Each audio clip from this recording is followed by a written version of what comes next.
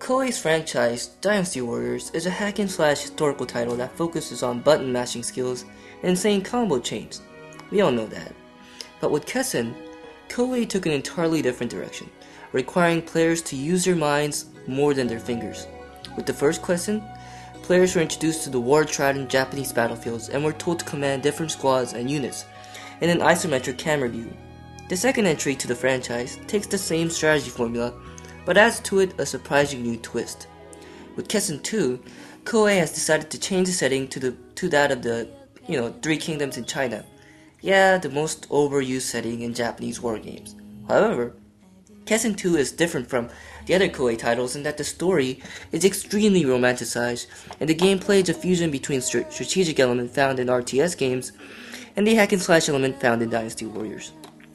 While majority of similar Koei titles focus on telling historical events accurately, Kessen 2 instead dismisses historical accuracy in favor of a character-based fantasy about love and heroism. All the characters can be found in Chinese history books, but the story found in Kessen is completely fictional. People used to the realistic approach of other Koei titles may be turned off by this, but aside from a few presentation flaws Kessen 2 is a rather engaging story about Liu Bei's quest to rescue his lover Diao Chan from a greedy, greedy conqueror Cao Cao. The cutscenes are fun to watch, and the dialogue is pretty well written, although everything is marred by less than stellar voice acting. Between the cutscenes and the dramatic flair that is Kessen 2's story, there is a historical announcer guy narrating the historical events and the troop movements of both sides of conflict. I guess this was Koei's way of not dismissing the historical elements completely. But having this historical narrative while a love story was going on did produce sort of a disconnect for me. At its core, though, Kessen 2 is a game that's focused more on the gameplay, uh, you know, than the story or the presentation, since the story is a bit too melodramatic to be taken seriously, and the graphics are, well, let's just say that Koei could do a lot better with the PS2 hardware. For people who found Romance the Three Kingdoms games to be too complex, and for people who thought Dynasty Warriors games was just too much hack and slash, Kessen 2 is a perfect balance between those, those two extremes.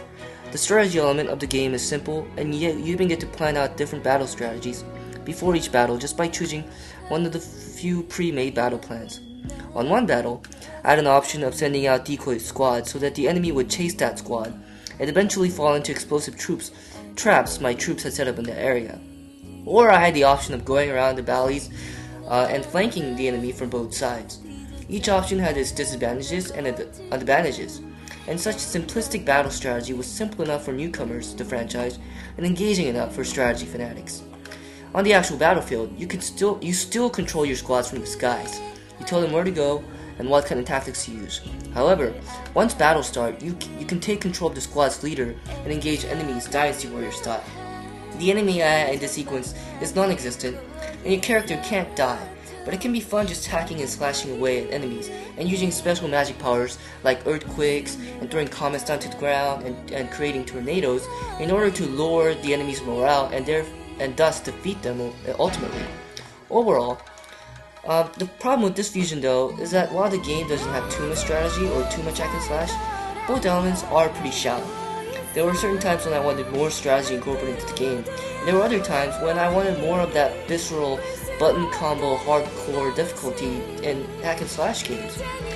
But I guess that's to be expected when two totally different gameplay styles are combined together into one single game.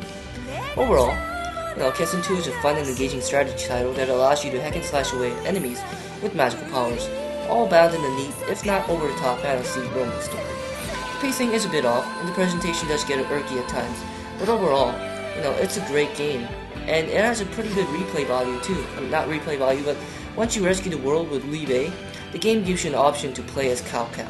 And really, who can resist playing as a powerful evil conqueror? And just as a side note, you know, the music that's playing in the background, you won't find that in the actual game. I just used it because I thought it was more fitting to this review. Um, so, you know, I just hope there's no misunderstanding on that.